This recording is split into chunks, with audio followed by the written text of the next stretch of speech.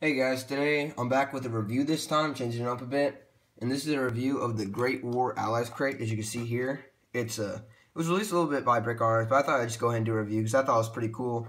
And just to start off with the packaging, it comes in the new Brick Arms style packaging where they did the little uh, plastic cover and stuff. It's pretty cool, I thought. It's, it's kind of better than the old uh, plastic baggies and stuff, as you can see over here with the Pack 38 that I have. And it just got some basic including stuff in it, and then nice picture on the back, and I like the just the front stuff. It's pretty cool. And just to start on the actually what comes in the pack, uh, just to start off with some basic stuff, it comes with a pickaxe, which just the pickaxe, just nothing special, and a shovel. I mean, I thought it was kind of cool if you want to do something in your trenches. And then over here, there's the trench knife, which is actually a prototype by Brick Arms. I already have one of these, but you know, it's nice to pick up a second one. Uh, the artillery shell, which I thought was pretty cool. It's not a huge difference in the normal artillery shell. I think I have one over here real quick. Let me just grab it. Yeah, right here. It's the size is basically the same. There you go.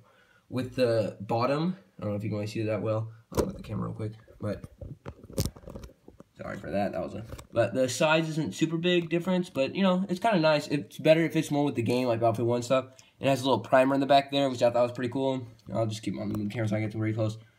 And then we have a Ypres map, which I thought was kind of nice because it actually shows the fronts and stuff. Um, my thumb's kind of in the way, but you can see that. And then a uh, little the real cheese, as uh, Lando always called it, and I thought that was a nice in inclusion and some bread, which I think is just a normal piece from Lego. A plate right here, and then this wine bottle, which I thought was pretty cool. I've always, actually never had one of these before. I had a lot of Legos, but never actually had like a, just a plain wine bottle. And then it has the little uh, French flag and stuff. So I thought that was a nice inclusion. I could use that for a lot of things, Molotov cocktails or something. And then the little uh, record player with the God Save the Queen, or King, I think it says. Yeah, God Save the King, duh. But right down there, I didn't really see it. But that's kind of nice.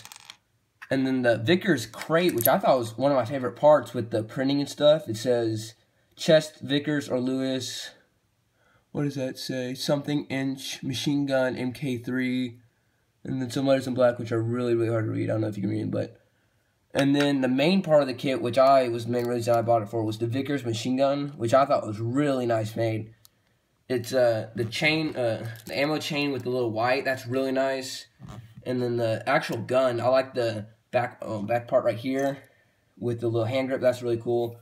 And then the water cool front. I thought that was just a nice inclusion. But overall, I'd really recommend this if you could pick it up maybe on eBay or something. I think I've seen a few selling, but it was really worth it. And uh, that's it for this today's video, but just want to remind y'all just to subscribe and like the video and comment if you want to see anything else.